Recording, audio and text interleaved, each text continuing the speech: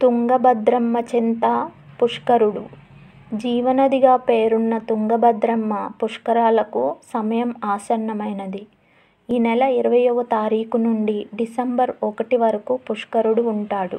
భారతదేశపు పశ్చిమ కనుమల్లో పుట్టి తూర్పు దిశగా ప్రవహిస్తూ కర్ణాటక రాష్ట్రంలోని సహ్యాద్రి పర్వతముల మీదుగా ప్రవహించి గంగమూల వద్ద మొదటగా తుంగభద్రలు రెండు వేరువేరు నదులుగా పేరొంది అక్కడ నుండి తూర్పు దిశగా ప్రవహిస్తూ కర్ణాటక రాష్ట్రంలో కూడలి వద్ద ఒకటిగా కలిసి తుంగభద్ర నదిగా రూపాంతరం చెంది శృంగేరి, హౌస్పేట్ రిజర్వాయర్లలో కలిసి హంపి మీదుగా ప్రవహిస్తూ బళ్ళారి జిల్లాలో ప్రవహించే హగరి నదిని కలుపుకొని అక్కడ నుండి రెండు వందల యాభై కిలోమీటర్లు ప్రవహించి కర్నూలు జిల్లా ఆదోని డివిజన్లోని కౌతాళం మండలం నదిచాగి అనే గ్రామం నుండి ఆంధ్రప్రదేశ్లోకి అడుగుపెడుతుంది. అక్కడి నుండి రామాపురం, మంత్రాలయం, నాగలదిన్నె, గురజాల, సంగాల, గండ్రేవుల, సింగవరం, కొత్తకోట,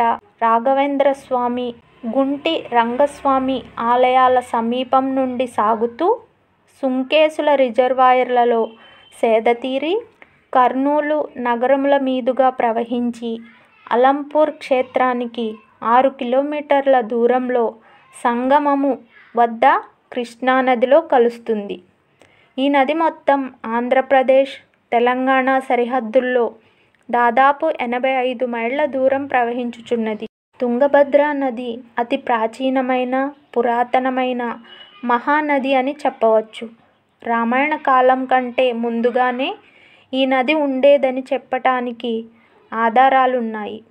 వాల్మీకి రామాయణంలో పేర్కొనిన శ్రీరాముడు సీతాన్వేషణ చేస్తూ సుగ్రీవునితో చెలిమి చేసిన ఋష్యమూక పర్వతం తుంగభద్ర నదీ తీరంలోని నేటి హంపి క్షేత్రంలో ఉన్నది.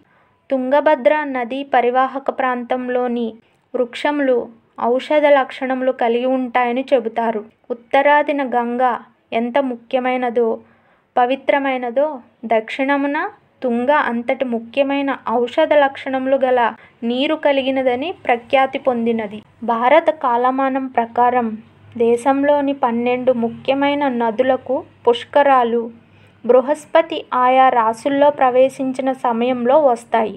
బృహస్పతి ఆయా రాసుల్లో ఉన్నంత కాలం ఆ నదిలో పుష్కరం ఉన్నట్లు లెక్క. ఒక సంవత్సర కాలం పాటు ఆయా రాసుల్లో ఉండటం జరుగుతుంది.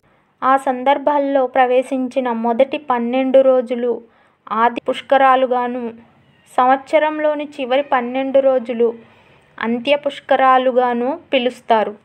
ఇక్కడ మనం పాటించాల్సిన నియమం ఒకటి గుర్తుంచుకోవాలి సుమ ఇంతటి శక్తి కలిగిన నీటిని పరిశుభ్రంగా ఉంచడం మనందరి కర్తవ్యంగా భావించాలి. మనందరం నది స్నానం పేరుతో ఆ నీటిలోకి వ్యర్థాలు వదిలిపెట్టరాదు. స్నానం చేస్తేనే పాపాలు పోయి పుణ్యం వస్తుంది అని మన ఋషులు చెప్పిన మాట నిజం చేయాలంటే నదిని భక్తిభావంతో చూడాలి.